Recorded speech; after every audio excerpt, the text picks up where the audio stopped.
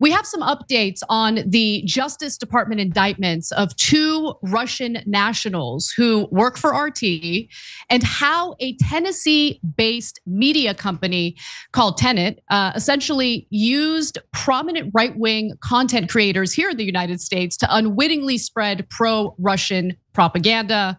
But one person didn't do so unwittingly, and that was the co founder of Tenet, Lauren Chen. The other co founder is actually her husband. So uh, the indictment didn't list their names. And I want to be clear that Lauren Chen and her husband have not been indicted. There is a possibility they could be in the future, depending on how this case plays out. But the indictment does clearly note multiple times that uh, Lauren Chen and her husband seemed to know uh, that the money was coming from Russia, and uh, they went to some lengths to basically conceal that fact uh, from the content creators, even fabricating a person out of whole cloth. Uh, so let's get into those details. Actually, before we do, Cenk, we covered this story yesterday when you were out, and I'm sure you have a lot to say about the story in general. So I'm going to give you an opening to just tell me what you think so far. Yeah, look, we've had beefs with some of those guys, and and and at different times we've gotten along with some of those guys. So I, on a personal level, I, I wish this story uh, wasn't didn't exist and that they had never done right. this. But I got to be honest with you guys. So they're getting paid a hundred thousand dollars a video. Mm-hmm. Okay, now if we were paid a hundred thousand dollars per video, we'd never have to ask you for another dime again okay? Because because that's not the economics of digital media. So uh, some of the videos would get 8,000 views. That's like 50 bucks, man. So then they ask, okay, who's giving the money? And they claim, oh, it is just a wealthy businessman, and they make up a name. Mm-hmm. You didn't Google the guys, because if you Googled, you'd know that he doesn't exist. So you never even bothered to ask. They're getting 400,000 a month for just four videos. If you do that over the course of a year, that's $4.8 million. And you didn't bother asking who was giving you that money. You didn't bother Googling. And all the videos happen to be pro Russia and against Ukraine. Wow, what a coincidence. So, this whole thing of like, we were victimized too. I'm sorry, but I mean, I'm not saying that they're criminally responsible or anything like that. But don't tell me that you had no idea what was going on. And golly gee, no, sorry, but I don't believe you at all. So look, the content creators, uh, Tim Pool, Benny Johnson, Dave Rubin, there were others, but those are some of the more prominent names. Uh, according to the indictment, didn't know uh, where the source of the money was coming from, uh, and that they were lied to uh, by Tenet Media, and a lot of the details of what was going on was intentionally concealed. Uh, but Cenk, the most shocking part about this whole indictment is that one of them actually did ask questions, and it was the person I least expected, Dave Rubin. Okay, so Dave Rubin wanted to know more about like this wealthy businessman who's like funding the whole operation. And not only did they make up a name, they made up a resume. Okay, they like literally made up a resume. And in the resume, resume, apparently the thing that uh, alerted Dave Rubin to potential red flags was that uh, I guess social justice was mentioned in the resume, and he's like, mm, social justice, I don't know about that, but uh, there is no other indication, at least according to this indictment, that the content creators knew for sure what was going on. So who knows? The story could develop from here, but yeah, that's yeah. what we know so far. But I yeah. want to be clear. I'm not saying that they definitely knew and somebody told them, hey, it's the Russians and they took the money anyway. What I'm saying is, when someone says, I'm going to give you a preposterous amount of money for this video, and then they give you a fake name and you don't bother Googling it. And then they tell you to say ridiculous things in favor of Russia. And I mean, another part of the story that's amazing is, uh, you know, they say one of the producers goes, well, this seems like overt shilling. It's in that right. indictment. And uh, and they go, shut up and say it. And they go, okay, so yes, sir, of course, sir. Please. So you're telling me you had no idea that the massively pro-Russian, anti-Ukrainian videos you were getting paid $100,000 a video to do, like you didn't, at, at a bare minimum, you didn't look into it at all because you didn't want to know Why didn't you so, want to know? Because you had an excellent idea where that money was coming from. Hey, don't scroll away. Come back, come back. Because before the video continues, we just want to urge you to lend your support to TYT. You power our honest reporting. You do it at tyt.com slash team, and we love you for it. So we're going to show you uh, the very part of the indictment that Cenk is referring to. Uh, but let's get into the founders of Tenet Media, which was at the center of this whole influence scheme, influence peddling. Now, according to the indictment, Lauren Chen and her husband, Liam Donovan, referred to as founder one and founder two in the document work together to mask US company ones, that's Tenet's, uh, true source of funding, including from the company's own talent, which includes Tim Pool, Benny Johnson, and Dave Rubin. Now, altogether, Tenet Media took in nearly $10 million from the Russians to carry out this influence campaign in the United States. And uh, if you're wondering, okay, how was the money divvied up? About 8 million went toward the content creators. And when it comes to Lauren Chen and her husband, uh, they took about 700,000, nearly a million dollars of that money for themselves. But the real money makers here were the content creators who, according to the indictment, were unwitting, uh, unwittingly spreading Russian propaganda. Okay, so let's take a look at the portions of the indictment that I think are interesting here. So uh, the indictment says, describing US Company One's investor to Commentator One and Commentator Two. The commentators, of course, are the content creators, as Eduard Grigoriann, a purported finance professional in Western Europe. Founder one and founder two, that's Lauren Chen and her husband, admitted to each other in their private communications that their investors were, in truth and in fact, the Russians. The same term uh, that Founder One and Founder Two previously used to refer to RT while working directly under contract with RT, as described above. Lauren Chen had been working with RT uh, beginning in 2021. That's just a, a bit of information to know about. On or about May 27th, 2023, Founder One messaged Founder Two on Discord, quote, I'm going to ask the Russians about hiring producer two this coming week. Approximately two days later, founder one messaged producer two on Discord. Here's a list of responsibilities I sent over to the investors to approve bringing you on, waiting to hear back on timelines, sal- salary.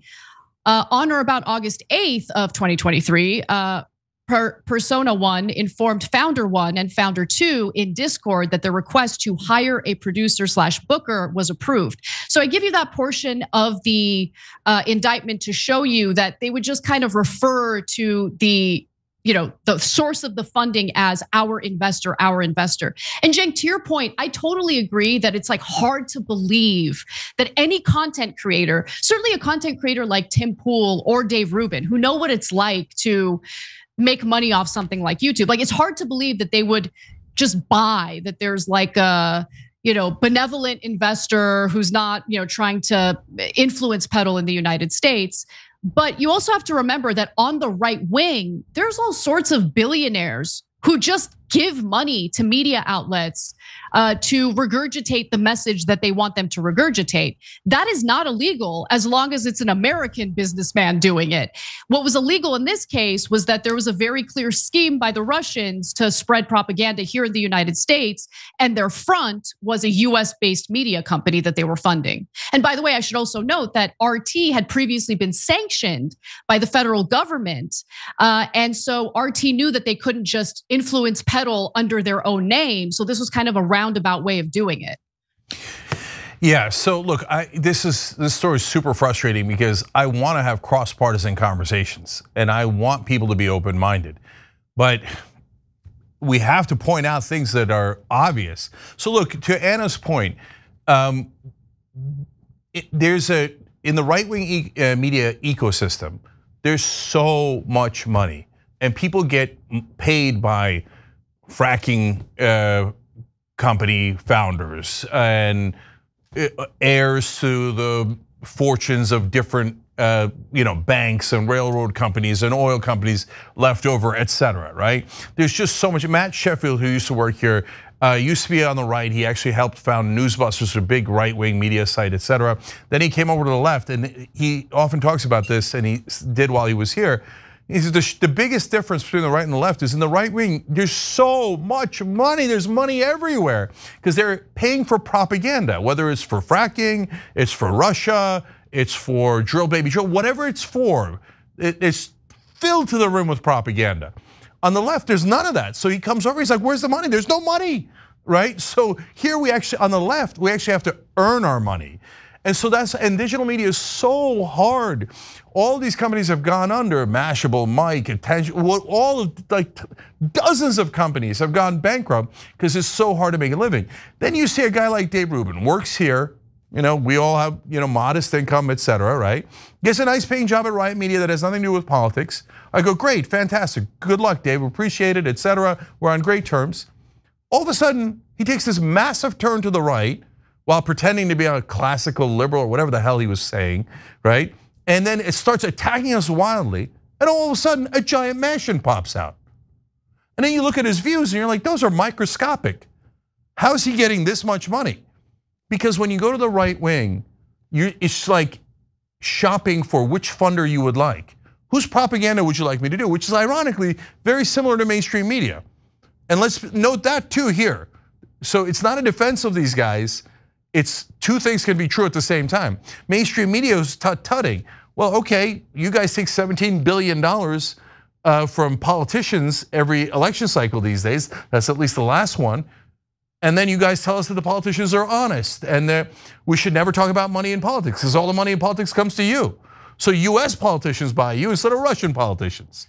So look, I'm just giving you all the context here, but that's why that right wing media ecosystem being being filled with so like millions and millions of dollars in propaganda money is an odd but true defense of these guys. They might have thought like, I don't know, we, you know, these guys give us money all the time to say stuff. Oh, these guys happen to be Russian. I mean, probably would have taken it if they were Libyan. I don't know, but but we don't have that on our side. That's why we do the fundraising. That's why we ask you to be members, etc. But when you see those mansions popping out out of nowhere, when there's like 18 views on something, you begin to get a sense that somebody's funding that. Okay, so two more uh, parts of the indictment that I want to read to you. Uh, so let's go to graphic four here, where the indictment states. Uh, on or about May 12th of 2021, founder two message founder one on Discord, quote, so we're billing the Russians from the corporation, right? Like honestly, Cenk, the openness in which they're referring to the source of funding makes me wonder were they just incredibly negligent and like just not careful at all with the crime that they were committing? Or did they not realize that this was illegal? Now, again, the founders of Tenet have not been indicted.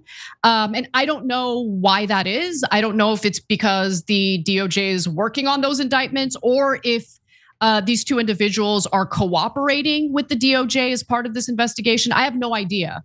But the way they just openly say to each other in written form, we're getting the money from the Russians is just weird to me.